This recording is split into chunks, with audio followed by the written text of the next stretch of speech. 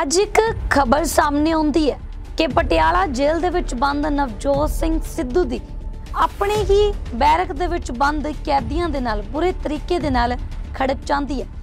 ਜਿਸ ਤੋਂ ਬਾਅਦ ਜੇਲ੍ਹ ਪ੍ਰਸ਼ਾਸਨ ਦੇ ਵੱਲੋਂ ਉਸ ਬੈਰਕ ਦੇ ਵਿੱਚੋਂ ਤਿੰਨ ਕੈਦੀਆਂ ਨੂੰ ਕਿਸੇ ਹੋਰ ਬੈਰਕ ਦੇ ਵਿੱਚ ਰੱਖਿਆ ਜਾਂਦਾ ਹੈ।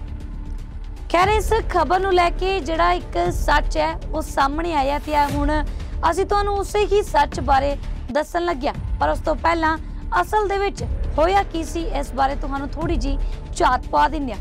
ਦਰਅਸਲ ਪੰਜਾਬ ਕਾਂਗਰਸ ਦੇ ਸਾਬਕਾ ਪ੍ਰਧਾਨ ਨਵਜੋਤ ਸਿੰਘ ਸਿੱਧੂ ਪਟਿਆਲਾ ਜੇਲ੍ਹ ਦੇ ਵਿੱਚ ਬੰਦ ਹੈ। ਨਵਜੋਤ ਸਿੱਧੂ ਹੁਣ ਜੇਲ੍ਹ ਦੇ ਵਿੱਚ ਵੀ ਵਿਵਾਦਾਂ ਦੇ ਵਿੱਚ ਘਿਰਦੇ ਹੋਏ ਨਜ਼ਰ ਆ ਰਹੇ ਹੈ। ਉਹਨਾਂ ਦਾ ਆਪਣੀ ਬੈਰਕ ਦੇ ਵਿੱਚ ਬੰਦ, ਹੋਰ ਕੈਦੀਆਂ ਦੇ ਨਾਲ ਵਿਵਾਦ ਹੋ ਜਾਂਦਾ ਹੈ। ਕੈਦੀਆਂ ਨੇ ਸਿੱਧੂ ਦੇ ਉੱਤੇ ਗਲਤ ਵਿਵਹਾਰ ਕਰਨ ਦਾ ਜਿਹੜਾ ਦੋਸ਼ ਹੈ, ਉਹ ਲਗਾਇਆ ਹੈ। ਇਹ ਖਬਰਾਂ ਸਾਹਮਣੇ ਆਉਂਦੀ ਹੈ। ਦੂਜੇ ਪਾਸੇ ਸਿੱਧੂ ਦਾ ਕਹਿਣਾ ਸੀ ਕਿ ਸਾਥੀ ਕੈਦੀਆਂ ਨੇ ਬਿਨਾਂ ਪੁੱਛੇ ਉਹਨਾਂ ਦੀ ਕੈਂਟੀਨ ਕਾਰ ਦੇ ਉੱਤੇ ਖਰੀਦਦਾਰੀ ਕਰ ਲਈ ਹੈ। ਹੋਰ ਕੈਦੀਆਂ ਨੂੰ ਸਿੱਧੂ ਦੀ ਬੈਰਕ ਤੋਂ ਹਟਾ ਦਿੱਤਾ ਗਿਆ।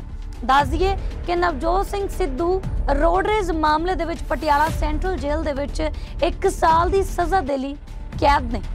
ਜੇਲ੍ਹ ਦੇ ਵਿੱਚ ਬੰਦ ਨਵਜੋਤ ਸਿੰਘ ਸਿੱਧੂ ਦਾ ਮਿਜ਼ਾਜ ਉਹਨਾਂ ਦੇ ਬੰਦੀ ਸਾਥੀ ਕੈਦੀਆਂ ਦੀ ਪਰੇਸ਼ਾਨੀ ਦਾ ਵੱਡਾ ਕਾਰਨ ਬਣ ਗਿਆ। ਬੈਰਕ ਦੇ ਵਿੱਚ ਉਹਨਾਂ ਦੇ ਨਾਲ ਤਿੰਨ ਕੈਦੀ ਬੰਦ ਸੀ, ਜਿਨ੍ਹਾਂ ਦੇ ਵੱਲੋਂ ਬੈਰਕ ਬਦਲਣ ਦੀ ਮੰਗ ਜੇਲ੍ਹ ਅਧਿਕਾਰੀਆਂ ਤੋਂ ਕੀਤੀ ਜਾਂਦੀ ਹੈ। ਇਸ ਲਈ ਉਹਨਾਂ ਦੀ ਬੈਰਕ ਵੀ ਬਦਲ ਦਿੱਤੀ ਜਾਂਦੀ ਹੈ।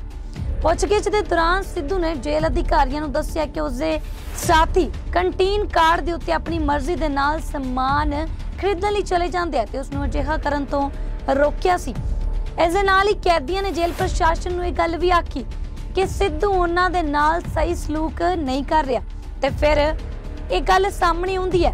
ਦੱਸ ਦਈਏ ਕਿ ਜੇਲ੍ਹ ਪ੍ਰਸ਼ਾਸਨ ਦੇ ਵੱਲੋਂ ਵਿਵਾਦ ਨੂੰ ਖਤਮ ਕਰਨ ਦੇ ਲਈ ਤਿੰਨ ਕੈਦੀਆਂ ਦੀਆਂ ਬੈਰਕਾਂ ਨੂੰ ਬਦਲ ਦਿੱਤਾ ਜਾਂਦਾ ਤੇ ਹੁਣ ਦੋ ਹੋਰ ਕੈਦੀ ਉਹਨਾਂ ਦੇ ਨਾਲ ਬੰਦ ਕੀਤੇ ਨੇ।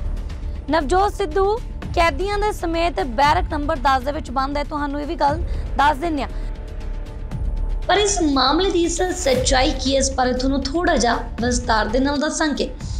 ਦਰਅਸਲ, ਨਵਜੋਤ ਸਿੱਧੂ ਦੇ ਜੇਲ੍ਹ ਦੇ ਵਿੱਚ ਕੈਦੀਆਂ ਦੇ ਨਾਲ ਵਿਵਾਦ ਹੋਣ ਦੀਆਂ ਖਬਰਾਂ ਨੂੰ ਪਟਿਆਲਾ ਜੇਲ੍ਹ ਦੇ ਸੁਪਰਡੈਂਟ ਮਨਦੀਪ ਸਿੰਘ ਨੇ ਅਫਵਾਹ ਕਰਾਰ ਦਿੱਤਾ ਹੈ। ਜੇਲ੍ਹ ਸੁਪਰਡੈਂਟ ਮਨਦੀਪ ਸਿੰਘ ਦਾ ਕਹਿਣਾ ਹੈ ਕਿ ਅਜਿਹਾ ਕੁਝ ਵੀ ਨਹੀਂ ਹੋਇਆ।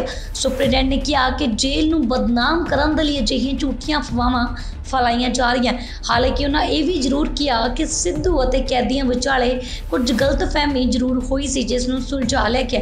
ਪਰ ਜਿਹੜੀਆਂ ਖਬਰਾਂ ਸਾਹਮਣੇ ਆ ਰਹੀਆਂ ਕਿ ਨੌਬਤ ਤੂੰ ਤੜਕ ਤੱਕ ਪਹੁੰਚੀ, ਇਹ ਬਿਲਕੁਲ ਹੀ ਝੂਠ ਹੈ। ਇਹ ਕਹਿਣਾ ਹੈ ਜੇਲ੍ਹ ਦੇ ਸੁਪਰਡੈਂਟ ਮਨਦੀਪ ਸਿੰਘ ਦਾ। ਉਹਨਾਂ ਕਿਹਾ ਕਿ ਅਜਿਹੀਆਂ ਅਫਵਾਹਾਂ ਦੇ ਵੱਲ ਬਿਲਕੁਲ ਵੀ ਧਿਆਨ ਨਾ ਦਿੱਤਾ ਜਾਵੇ। ਦਰਅਸਲ, ਮੀਡੀਆ ਦੇ ਇੱਕ ਹਿੱਸੇ ਦੇ ਵਿੱਚ ਖਬਰਾਂ ਨਸ਼ਲ ਹੋਈਆਂ ਕਿ ਨਵਜੋਤ ਸਿੱਧੂ ਦਾ ਸਾਥੀ ਕੈਦੀਆਂ ਦੇ ਨਾਲ ਵਿਵਾਦ ਹੋ ਜਾਂਦਾ ਹੈ, ਜਿਸ ਦੇ ਵਿੱਚ ਕਿਹਾ ਗਿਆ ਕਿ ਕੈਦੀਆਂ ਨੇ ਸਿੱਧੂ ਦੇ ਉੱਤੇ ਗਲਤ ਵਿਵਹਾਰ ਕਰਨ ਦਾ ਦੋਸ਼ ਲਗਾਇਆ ਦੂਜੇ ਪਾਸੇ, ਸਿੱਧੂ ਦਾ ਕਹਿਣਾ ਹੈ ਕਿ ਸਾਥੀ ਕੈਦੀਆਂ ਨੇ ਬਿਨਾਂ ਪੁੱਛੇ ਉਹਨਾਂ ਦੇ ਕੰਟੀਨ ਕਾਰਡ ਦੇ ਉੱਤੇ ਖਰੀਦਦਾਰੀ ਕਰ ਲਈ, ਜਿਸ ਤੋਂ ਬਾਅਦ ਇਹ ਵਿਵਾਦ ਖੜਾ ਹੋ ਜਾਂਦਾ ਹੈ।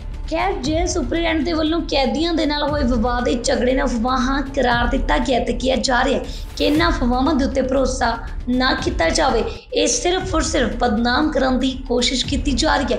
ਜੇਲ੍ਹ ਨੂੰ ਵੀ ਅਤੇ ਜੇਲ੍ਹ ਪ੍ਰਸ਼ਾਸਨ ਨੂੰ ਵੀ।